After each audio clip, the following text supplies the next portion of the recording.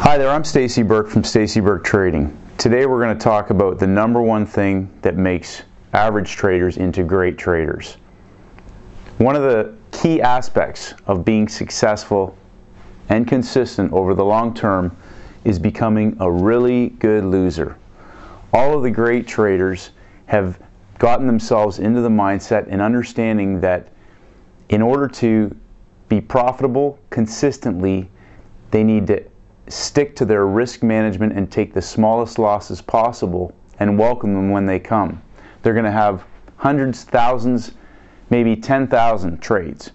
And the key aspect is being able to recognize immediately when your trade is, is invalidated and that you need to exit that trade right away. A really good system will have a minimum risk reward of at least two to one.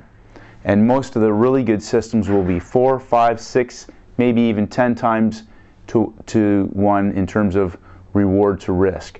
So in that situation, once you can really get into the mindset of exiting, exiting a trade as quickly as possible and taking the smallest loss possible and being able to take the next signal without any hesitation when your system generates that trade signal, that's the key. Because as Richard Dennis proved with the turtles, you can take 70, maybe 80% losing trades. But if your risk management is so tight, when you get into a, a trade that moves in the direction that you've entered, and you may even add more positions to that trade, and you get into a big trend movement, that can generate 10, maybe 20 to 30 times the return. And that's the key.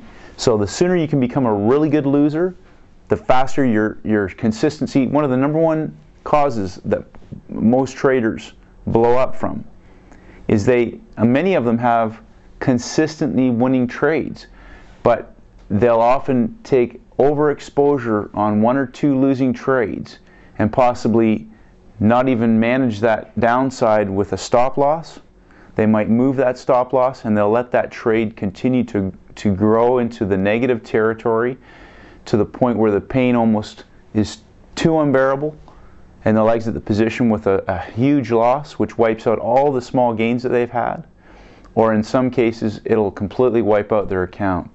The really great traders focus on becoming really good losers. They focus on the process of trading and they focus on flawless execution of their system. So they take the smallest loss possible, they follow their rules unequivocally, and they make sure that they ex execute their system's trade signals without any hesitation.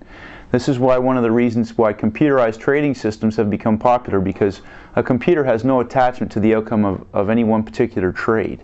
Trading is not about being right or wrong. It's about managing the downside.